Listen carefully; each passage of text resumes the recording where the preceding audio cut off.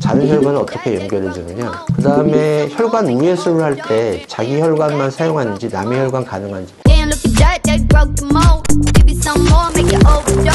어, 그 다음 질문으로는 이제 뇌동맥류가 파열이 돼서 수술하더라도 후유증이 남는데, 아, 네, 후유증이 많이 남습니다. 그래서 우리가 보통 어, 뇌동맥류 파열로 인한 지소막하 출혈 환자는 많은 경우에 사망하는 경우가 아, 있습니다. 사실은 어, 우리가 미리 사전에 그런 그 예방을 하고 어, 검사를 해서 파열이 되기 전에 치료하는 것을 권장을 하고요. 파열이 되고 나서 치료를 우리가 최선을 다해도 일부는 어, 사망하는 그런 어, 안 좋은 결과가 있고요. 설사 사망하지 않더라도 심한 경우는 뭐 침상 의존 상태라든가 식물인간 상태 아, 이런 어, 나쁜 후유증을 남기기도 하고 장기적으로 두통이 있기도 하고 뭐 반신마비라든가 언어장애, 인지기능장애, 배뇨장애라든가 다양한 후유증 합병증을 남길 수 있어서 동맥류 수술을 하고 나서 어, 이후에 환자가 회복될 때까지 일정 기간 재활 치료가 어, 필요할 수가 있습니다. 어, 그 다음 이제 거대 뇌동맥류 수술과 관련돼서 우리가 동맥류를 어, 결찰하기가 어려우면 어, 실제로 정상 혈관끼리 혈관을 연결해주고 동맥류 앞뒤로 혈관을 묶어주는 그러한 수술을 하게 됩니다. 그래서 어, 혈관 우회수를 할때 팔에 있는 혈관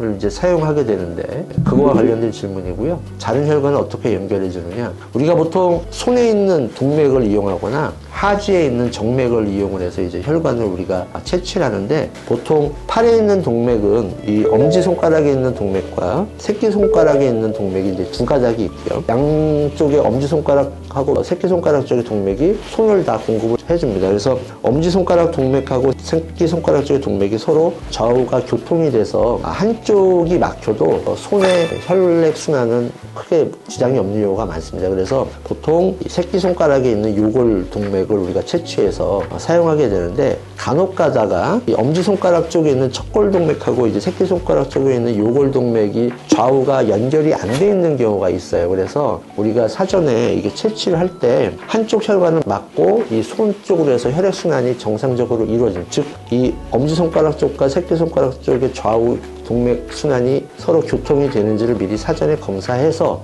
아 한쪽이 막혀도 다른 한쪽으로 손 쪽으로 혈액 순환이 되는구나를 확인한 다음에 사용하게 됩니다. 만약에 이 손 쪽의 동맥 좌우가 교통이 안 돼서 어, 요거를 채취하면은 손이 뭐 썩거나 이렇게 문제가 생길 경우 에는 하지에 있는 정맥을 사용하게 됩니다. 정맥은 전체적으로 잘 퍼져 있고 서로 연결이 잘 돼 있어서 우리가 하지에 있는 정맥을 채취해서 사용하는 경우도 어, 적지 않습니다. 그래서 처음에 자른 혈관은 잘랐으면 피가 나니까 우리가 묶어주죠. 묶어줘도 반대쪽에서 혈액 공급이 되기 때문에 손에 괴사가 되거나 문제가 되지 않고 다 사전에 한쪽을 묶어도 손에 문제가 없는 걸 확인하고 수술을 하게 됩니다. 그 다음에 혈관 우회수를 할때 자기 혈관만 사용하는지 남의 혈관 가능한지 이론적으로 이제 남의 혈관을 사용 가능한데 이 뇌수술 할 때는 이제 응급을 하는 경우가 많기 때문에 우리가 남의 혈관을 바로바로 우리가 얻기가 좀 어렵고 그냥 아까 말씀드린 대로 요골 동맥이나 그 다음에 하지 쪽의 정맥 그 다음에 필요한 경우는 우리가 두피에 있는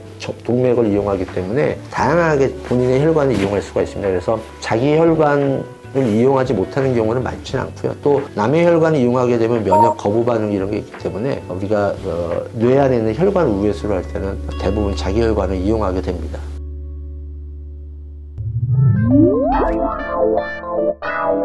哇哇哇哇哇哇哇哇哇